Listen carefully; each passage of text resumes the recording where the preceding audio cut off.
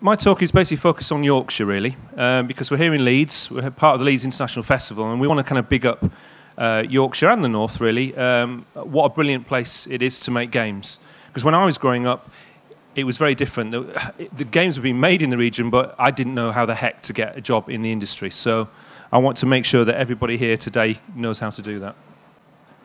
So that's me, aged uh, about 10 years old. Um, playing on a computer that's probably older than everybody in this room, uh, called a Tandy TRS-80. And I just got um, hooked into playing games from a very early age. I, I, loved playing games, and I always wondered how to get a job. And I remember my, my dad telling me, you know, I'd be, it'd be a beautiful day outside, and I'd have my curtains welded shut and and uh, be playing games on my ZX Spectrum, saying, why, why are you playing games? You'll never get anywhere um, playing games. Uh, I ended up uh, getting a job in the industry as a games journalist. I uh, joined a multi-format magazine back in um, uh, 2000 called Arcade, and then I joined various magazines and websites, official PlayStation 2, uh, and ended up editing a magazine called PC Zone. Uh, which Charlie Brooker used to write for, and uh, just had a brilliant time in the industry. And uh, I ended up going to amazing places around the world, stayed at uh, Skywalker Ranch uh, when Star Wars Episode 2 was being made. That was very exciting. Um, I've been to uh, Shanghai, I've been to, to meet um, Epic Games. Uh, it's been a really, really good fun um, time uh, in the games industry, and that was from just being uh, from Bishop Wilton in East Yorkshire. So if, if I can get there, then everyone else can.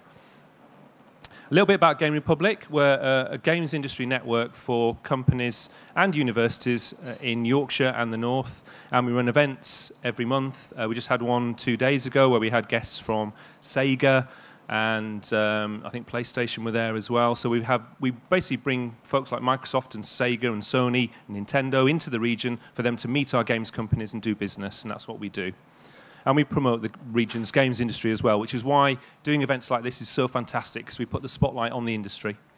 I also do other stuff. Um, I don't know if anybody uh, anybody here has been to the Yorkshire Games Festival in Bradford, but we um, we helped to program that event and um, lots of other stuff as well. Uh, anything geeky games happening in the region, I'm usually involved in it. Um, cool. Right. Quick question. So I, have kind of given some big clues uh, about this now, but um, where in the world and I need the town or city where, where are these games made. So, does anybody know what this game is? Yeah, Red Dead Redemption. It's number two, actually. Red Dead Redemption Two. So, where is it? Where is that game made? Yeah. Well, you mentioned Rockstar Leeds, which is good. Very good. Because usually, uh, a couple of years ago, when I used to ask this question, people say, "Oh, America it must be made in America." Which is, you know, it's good that we're hearing more people saying, saying Leeds. Uh, anybody know what this game is? Yeah. Crackdown, that's right, it is. And uh, anybody know where that game is made? Yes. So, mo Sheffield, this is brilliant. This, this is great. We've got an educated crowd. Great. Yorkshire crowd. Fantastic. So, yeah, that's it. So, um, Red, Red Dead Redemption 2 um, made in Leeds, but also obviously we've got to get, give credit to uh, uh, Rockstar in Edinburgh and San Diego and all their studios around the world. But yeah, Rockstar Leeds have a major part to play in that game. And Crackdown, yeah, made in Sheffield by Sumo. And uh, obviously we've got Zi Peters uh, after me talking about level design, so that's going to be uh, really interesting. But yeah, made right here in Yorkshire. And these are just as kind of examples of some of the games that uh, are made here in the region. Um, we've got Sonic Racing games, we've got um, Broken Sword, made in York by Revolution Software. We've got all the guys here showing games off, Positron. Got brilliant game, Chris Jeff there showing Squishy Sports, all made in Yorkshire in the north. Um, so it's fantastic. We've got all these companies making games right here. And these are just some of the ones in, in Yorkshire. Um, Cooperative Innovations are co-hosting this event today, uh, make fantastic VR stuff based in Leeds. Obviously, we heard from Team 17, but there's lots of other companies. You, you might have heard of their games, but you, you probably didn't realize they were based in Yorkshire. So, for example, um, Boneloaf. Has anybody heard of Gang Beasts? Have you played Gang Beasts with the little jelly fighters? Yeah, it's a really brilliant game made in Sheffield. So they're based in Sheffield. And we've got Beta Jester, who are based in York and Hull, and uh, Innsight, who are based in Wakefield. Loads and loads of companies based all over the region. Um, more than 150, actually. So I'm not going to go through all these stats, but uh, the games industry is currently worth 5.7 billion pounds. We hear a lot in the news about the fishing industry, um, and you know, with, with, the B word, Brexit, and how much the fishing industry is worth. The fishing industry is worth two billion quid. We're worth nearly three times what the fishing industry is worth. Do we get the coverage in the news? Mm, maybe not so much, but we are. So there you go. Uh, nine percent of the UK's development workforce are employed in, York, are employed in Yorkshire and Humber, which is a really healthy figure. Uh, and yeah, we've got um, officially nearly 150 companies in the region, and those are companies that are actually formed as companies, but I know there are at least two or three times that because there are lots of smaller companies who are under the radar doing brilliant stuff and we don't know about them, or they just keep themselves themselves. So, yeah, we've got at least sort of 300, 400 companies. And we've got some fantastic universities and colleges here. It's so great. We've got um, like Leeds City College, and we've got University of Leeds and uh, Wakefield here today, and you know, we've got some fantastic Leeds Trinity. So we've got some fantastic courses right here in the region, some of the best actually, and 16% of all games courses. Um, just wanted to quickly talk about some of the trends that are going on in the industry. So obviously, um, AR, VR, MR, all the kind of ARs and MRs are going on uh, at the moment. Uh, you can see some of the VR, obviously, in the Tetley over there.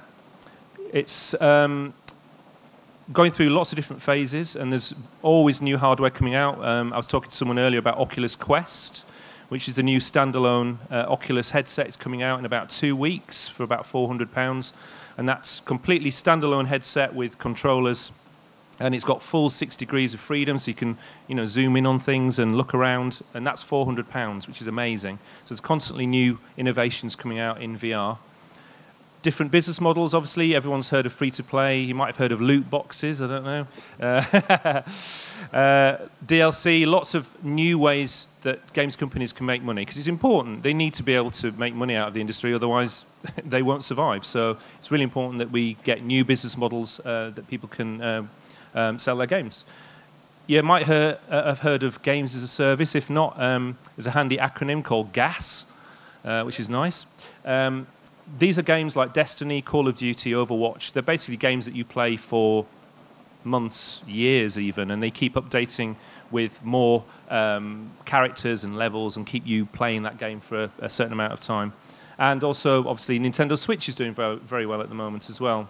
And that's um, a picture of Seb at Sumo uh, when he was first showing off his game Snake Pass on the Switch. That was made by Sumo. A couple of other things. Esports obviously is huge. Um, every time I update this figure, it gets bigger, but apparently it's worth nearly $700 million now. Streamers, obviously, YouTube. Um, we had Alicia earlier on today talking about uh, making video content. That's huge. I've got friends who uh, are making two, three times what they used to earn as a magazine editor, making their own YouTube channels, which is fantastic. Uh, anybody know who that is, by the way? On the, uh, there's a YouTuber in the bottom left. Stampy Cat. Everyone, anyone heard of Stampy Cat? He does Minecraft videos. uh, and obviously, uh, multi-platform games are everywhere now. You've got PC, PlayStation, Switch, um, everything. Your mobile games are everywhere. So a couple of the uh, challenges uh, in the region, we do have uh, skills recruitment issues. You know, we want more people, more diverse people in the industry. So we're always looking for people to uh, come and get jobs in the industry. Access to um, investment is quite difficult here. There's more opportunities in London, I would say, for uh, VC and uh, that's venture capitalists and investments. Um, but it is getting better, but we still need to kind of address that imbalance, getting more investors to come up to the region and invest in our games. And things like political uncertainty. Uh, I'll skip over that, but yeah, that's me banging on in the Yorkshire Post about uh, the dreaded B word. We've got an issue in Yorkshire as well about the size of the region because there's a lot. I mean, games companies based everywhere in Scarborough, in you know, up in uh, in, in, in Hull, in everywhere, right across the region. So it's um, so part of Game Republic's job is to really to link those people together and also to link up with um, folks in the northeast and the northwest as well, so we can all kind of learn from each other and uh, grow the industry up here in the north. Discoverability is a huge issue. Um, this is a figure from 2017. But uh, in that year, there were more than, well, 7,672 games released on Steam. I mean, that is a ridiculous number of games, and that's just on Steam. 21 games per day. So you imagine how difficult it is for a games developer to get noticed amongst all that. So it really is an issue. And diversity, you know, we want more women, uh, more folks from different ethnic backgrounds, from um, all sorts of backgrounds. We want them to come and join us in the industry and make better games. So you've heard a bit today about how to get into the games industry um, as a games maker, and I kind of touched on it a bit when uh, Chloe was uh, speaking earlier, but the, um, the big thing is really, are you making games? Because the number one thing I always hear from companies who are recruiting and looking for people to come and work for them is that, yeah, you might have a qualification, you might come out of a university with a, you know, a good degree in some fantastic universities and colleges here, but they want to know what else you've done as well. So if you've just been on your course for three years, four years, and you just come out and say, yeah, I've made these games on my course, it's not as impressive as someone who hasn't been to university and has also released two or three games on iPhone. You need to be working on games and making games in your spare time. And if you can't make games, you can't program or you can't do art or whatever, get together with some teams. There are plenty of opportunities of uh, working on games in game jams and uh, things around the region that you can get involved in um, to make games. It really, really does make a difference. So if you are passionate about the games industry, you need to be making games or writing about games. You know, if you want to get into games media, write a blog, show that you're writing about games. Because if you want to get a job in media, if you're not doing what you're doing in your spare time, then there are, there are thousands of other people who are doing that and they are the people who will get the jobs. So it's really important. I've got two examples here. These are both from actually uh, Huddersfield University. They uh, set up their companies in their first year at university, and by the second year of university, they were signing deals with PlayStation and Microsoft. So they were still at university and already releasing games. So that's kind of what you're up against. You know, you need to be. It's a very competitive industry, and you need to be making games. You need to demonstrate your passion. Um, tons and tons of free games development software out there. Uh, Scratch, Game Salad, Game Maker's really good. I've had a potter around with that. Uh, made a really, really rubbish game. Uh, but yeah, there's, there's tons and tons of um, games development software out there that you can make stuff. You don't need to be good at art or programming. You can actually just get stuff together. Uh, there's a brilliant game called Hotline Miami. I don't know if anybody's played it. Fantastic game, made in Game Maker. Game Maker's, I think, about 60, 70 pounds, I think. But you know, you, the people who made that, they didn't have any programming experience. And I, I, know loads of people who've made games, don't have any programming experience, and are, releasing brilliant games on um, using Game Maker. Um, Alicia already mentioned uh, Mark Brown's uh, Game Maker's Toolkit, but it really is a fantastic YouTube channel. It really goes into uh, how to make games and the um, the kind of detail of, uh, of level design and everything. It's, it's really, really good. So it's, it's an excellent one to kind of look at if you want to learn more about the kind of craft of making games. So yeah, these are just uh, the top tips really. Uh, learn about making games, um, YouTube, um, do courses, you know, at school, university, and college. If, if you're not having anything at school, if you haven't got anything at school, have a word with the teacher. Say, why aren't we doing any programming in schools? You know, they should be. uh, build teams, make games, release them. It doesn't matter if they're not very good when you're starting off. It's just good to get that experience of going through the process of releasing a game on iPhone or Android create awareness for your games. Um, I did a talk the other day about um, doing a crowdfunding campaign on Kickstarter. Um, for example, if you want to do a, a, crowdfunding campaign, you need to be planning it about six months before and making sure that you're involved in um, your social media and getting fans of your game, showing gifts online, you know, showing the game off, and, and maybe even releasing early um, demo copies of your game just to get it out there. Um, so you need to be building your your community really early in the process of making a game.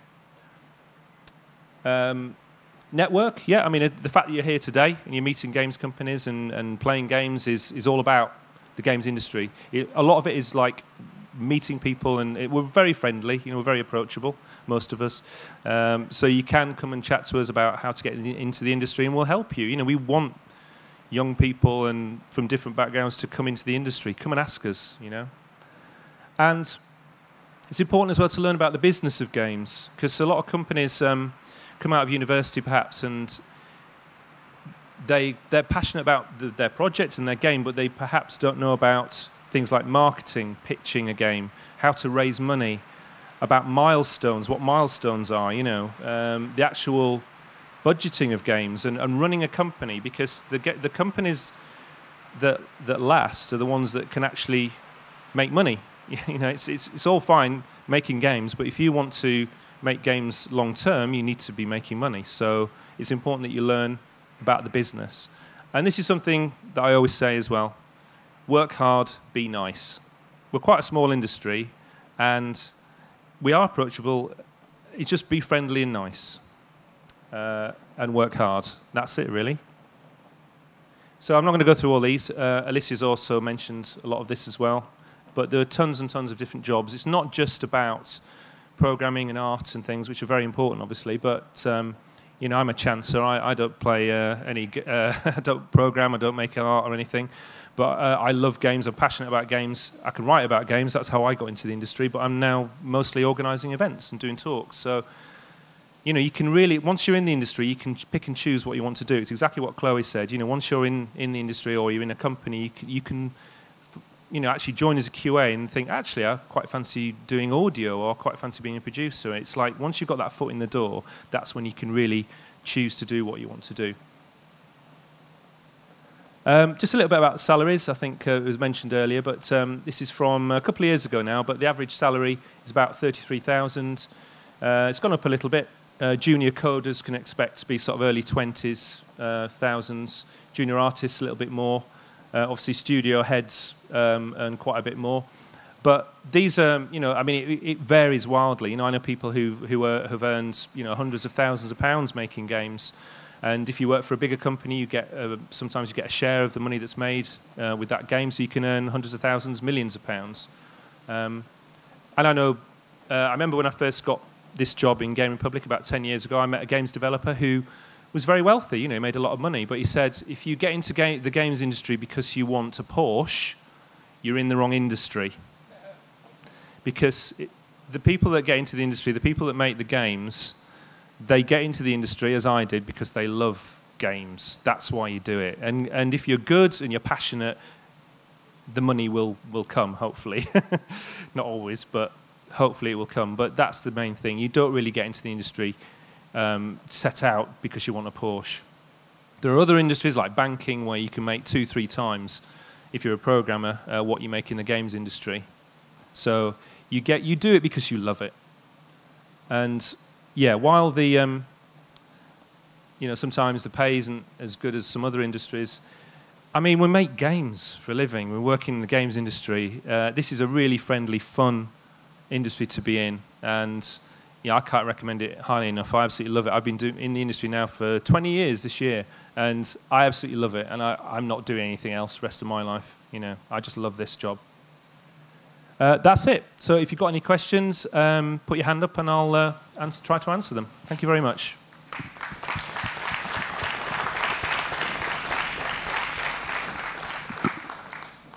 Right, got a couple of minutes if you've got any questions, otherwise I'll get off the stage.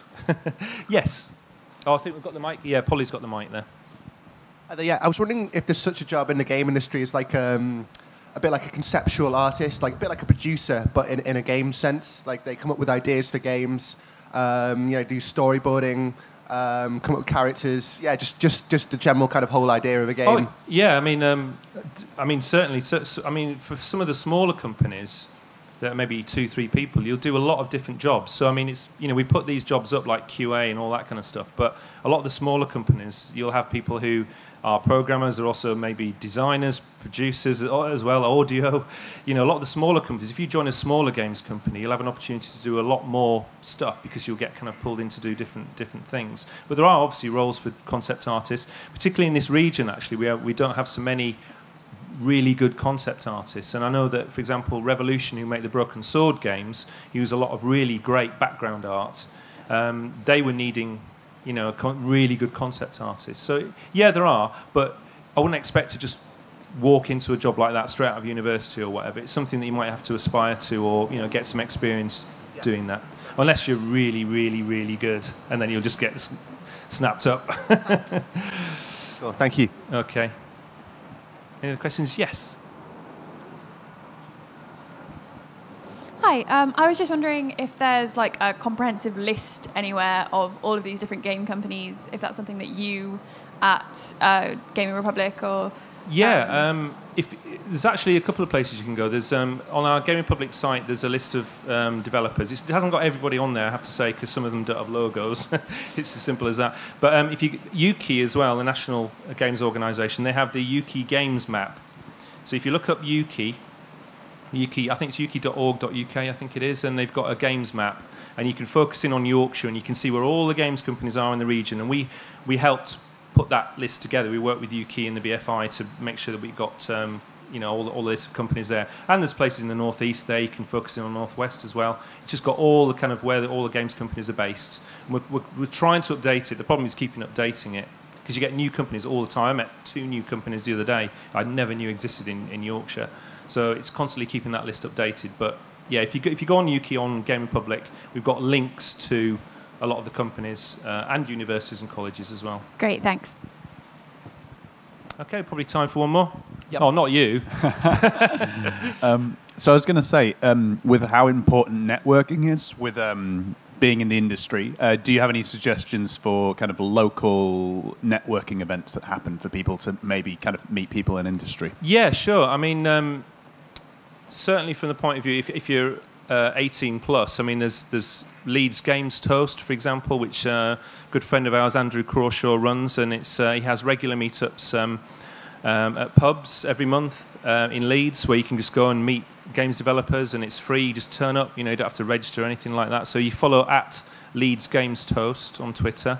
Uh, they also have morning events as well, because not a lot of people like going to pubs surprisingly. I don't know. I haven't met him yet, but uh, but no, you can actually go and have uh, like a morning coffee or something as well, and, and so he has those meetings again once a month. Uh, there's also uh, if, if you're um, if you're making games, uh, you can join Gamayo, which is Game Makers Yorkshire. So if you go on gamayo.co.uk, there's information on there about how to sign up. Again, we have our meetings tend to be in, in pubs, so uh, you have to be 18 plus, but. Um, have a look there. The only criteria is that you have to be making games. That's it or involved in games in some way. Um, and provide information there about you know stuff that you've done and artwork that you've done and things like that. And obviously, if you want to join Plug Plug Game Republic as well, uh, which is as little as £100 a year for individuals to join the network. But there are other things as well. You know, Yorkshire Games Festival uh, is a fantastic place to go and meet developers. Uh, there was the Play Expo the other day by our friends uh, over there at Replay, in, uh, happened in Manchester uh, the other week fantastic event. You can go and meet loads of games developers and ask them about getting jobs in the industry. So there's there's lots going on. You just have to kind of um, you know look on Twitter and find out what's going on. But everyone's friendly. You can go up and, and chat.